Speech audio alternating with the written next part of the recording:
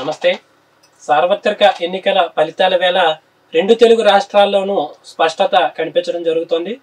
Bharatiya Janata party Telangana గడ్డ మీద బాగా బలంగా పుంజుకుని బలమైనటువంటి ఎంపీ స్థానాలు దక్కించుకునేటువంటి పరిస్థితి ఉంటే అటు ఆంధ్రప్రదేశ్లో భారతీయ జనతా పార్టీ తోటి చేతులు కలిపినటువంటి తెలుగుదేశం జనసేన కూటమి స్పష్టమైనటువంటి ఆధిక్యాన్ని ప్రదర్శించడం అనేటువంటిది కనిపిస్తుంది.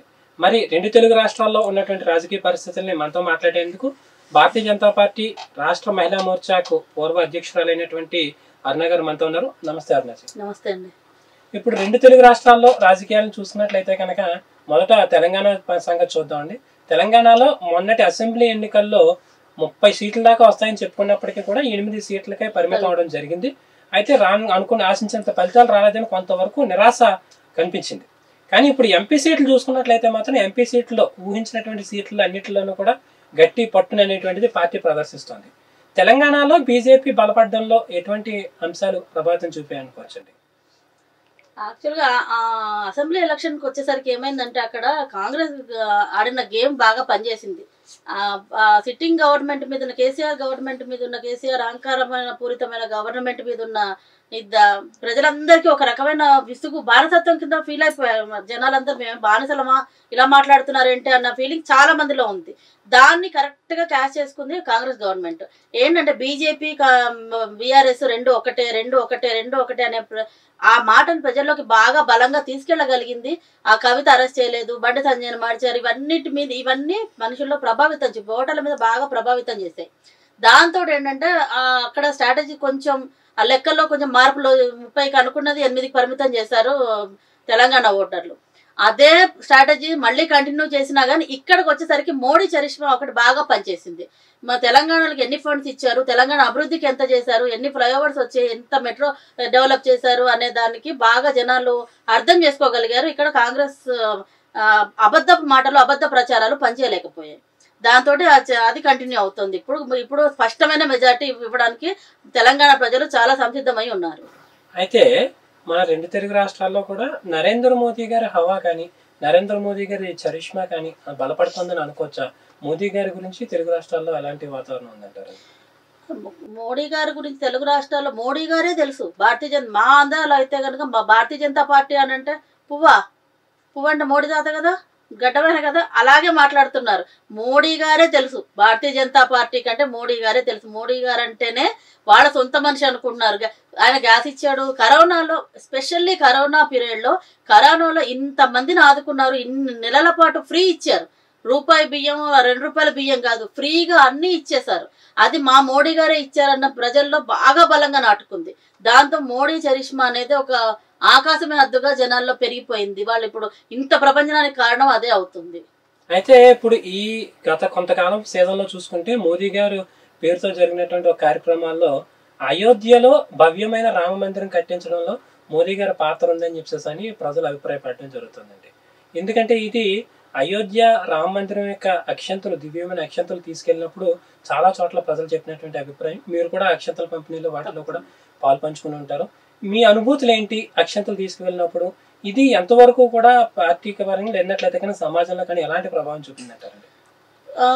రామల రామ అయోధ్య రామ జన్మభూమి అనేది ప్రతి భారతీయుడి కళ. ఆ కళని ఎన్ ఆ కళ కోసం ఎంతో మంది ఎన్నో రకాల త్యాగాలు చేశారు. ఆ ఈ తరంలో మేము చూడగలుగుతామా అన్న వాళ్ళు ఉన్నారు. మళ్ళీ పుట్టాలి ఈ రామల్లాని చూడడానికి మళ్ళీ పుట్టాలనుకున్న వాళ్ళు ఆ ఎమోషనల్గా కనెక్టింగ్ అనేది మన భారతదేశ ప్రజలకి చాలా ఉంది అయోధ్యకు సంబంధించి. అది మోడీ గారి వల్ల సాధ్యం భారతీయ జనతా పార్టీ ప్రభుత్వం వల్ల సాధ్యమైంది.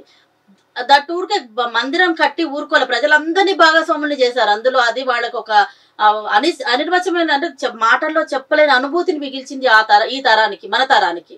అదొక అదృష్టంగా భావించారు. ప్రజలందరూ కూడా ఒక అదృష్టంగా భావించారు.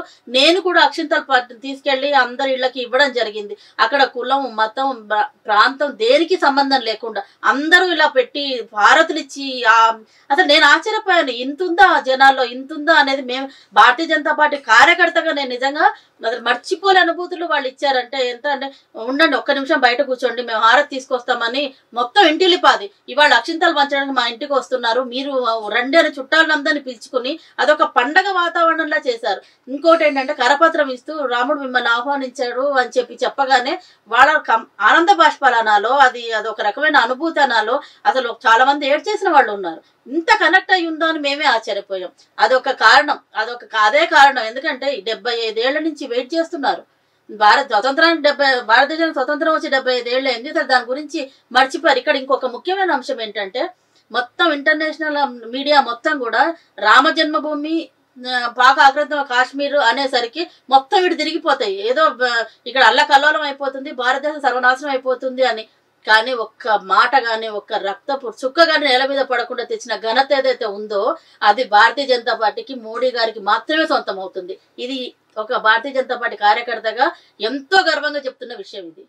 అయితే రెండు తెలుగు రాష్ట్రాల్లోనూ భారతీయ జనతా పార్టీ యొక్క ప్రస్థానం చూసుకుంటే కనుక ఎందరో నాయకులు ఈ పార్టీ కోసం పనిచేయడం జరిగిందండి. గత తరంలో కూడా ఆలయ నరేందర్ గారు కావచ్చు వి రామారావు గారు కావచ్చు లేదంట్లయితే దత్తాత్రేయ గారు వీళ్ళందరూ కూడా పనిచేయడం జరిగింది అనమాట ఆ నాయకులను కూడా మీరు దగ్గర నుంచి చూసి ఉన్నారు.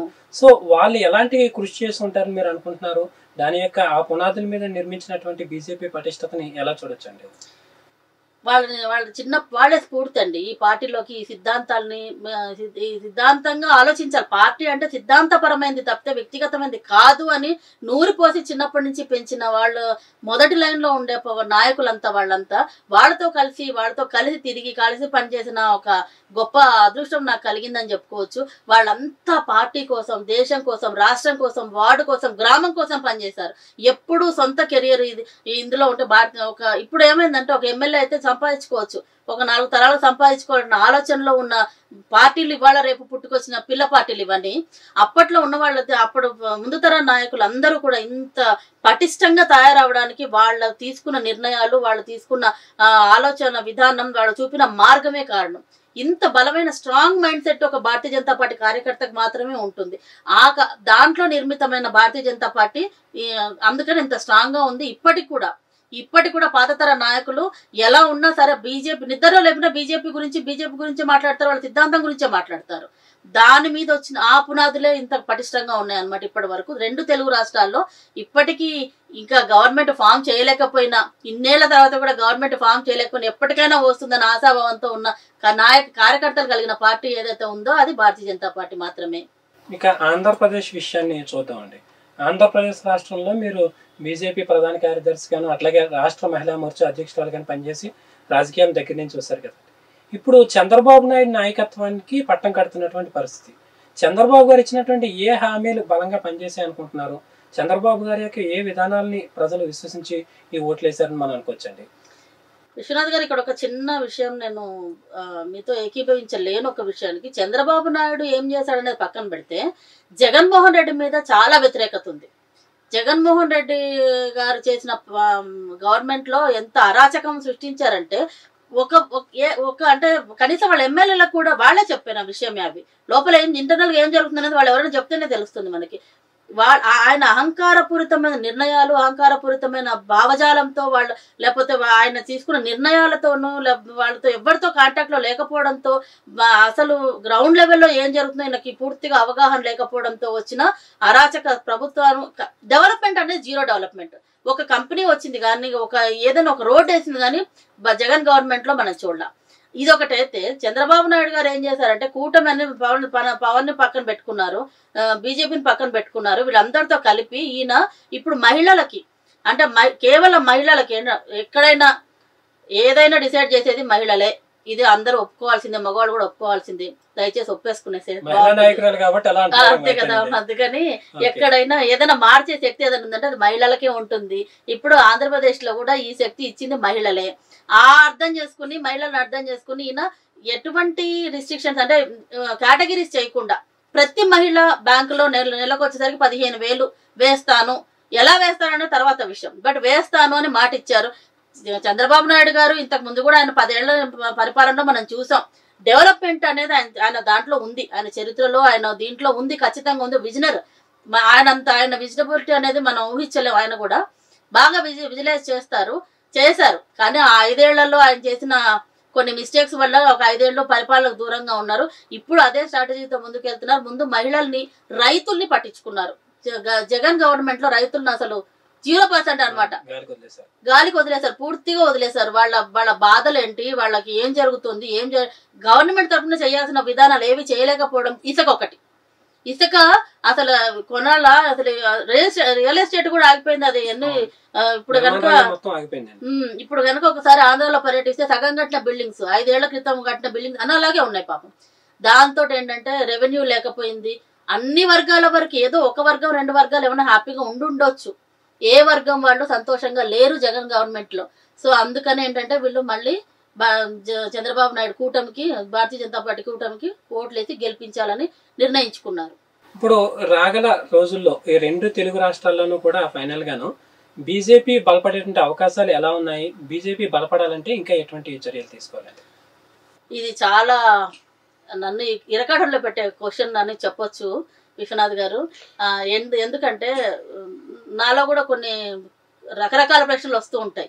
ఎందుకంటే ఇప్పుడు అసలు ఇప్పుడున్న వాళ్ళలో మనం ఓపెన్గా మాట్లాడుకుంటే బీజేపీ నుంచి వచ్చిన బీజేపీ కోసం పనిచేసిన వాళ్ళు బీజేపీతో ఉన్న వాళ్ళు లేరు. ఇప్పుడు ఎవరు అక్కడ ఎమ్మెల్యేలుగా ఎంపీలుగా టికెట్లు తీసుకున్న వాళ్ళు ఎవరు లేరు. అందరూ బయట నుంచి వచ్చిన వాళ్ళు. ఈ విధానం మారాలి. ఎందుకు బీజేపీ అంటే కేవలం డబ్బుతో మాత్రమే ముడిపడి ఉన్నాయా రాజకీయాలు? అంటే అవునని అనుకోవచ్చు. ఎందుకంటే జనాలు కూడా అలాగే ఉన్నారు ఖర్చులు కూడా అలాగే ఉన్నాయి అనుకోవచ్చు. సీనియర్స్ని గౌరవించడం అనేది జరగట్లేదేమో అని నా ఉద్దేశం. అక్కడ ఎంతో మంది నాకంటే సీనియర్ నాయకులు ఆంధ్ర నుంచి చాలా మంది ఉన్నారు. నాయకులు అంటే రాష్ట్ర నాయకత్వం సరైన పందాలో సరైన విధానంలో సరైన ఆలోచన ధోరణి కరెక్ట్గా లేదని నా ఉద్దేశం. దాంతో ఏంటంటే బ్యాంక్ ఓట్ బ్యాంక్ తగ్గుతూ తగ్గుతూ తగ్గుతూ వస్తుంది.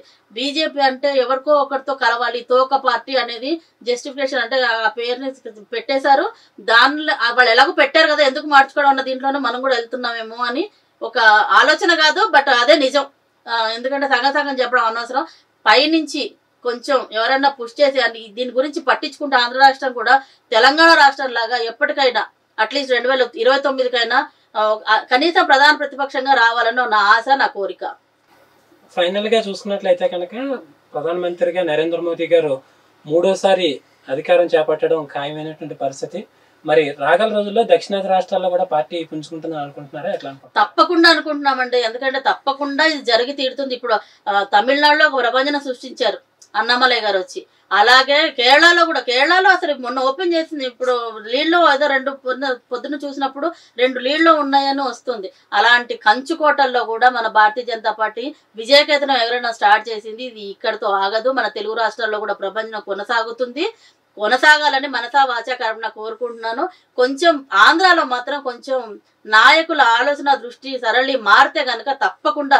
ఎందుకంటే బలమైన కార్యకర్తలు ఉన్న ఆంధ్రప్రదేశ్లో చాలా బలమైన విశ్వాసంతో ఉన్న కార్యకర్తలు ఉన్న రాష్ట్రం అది.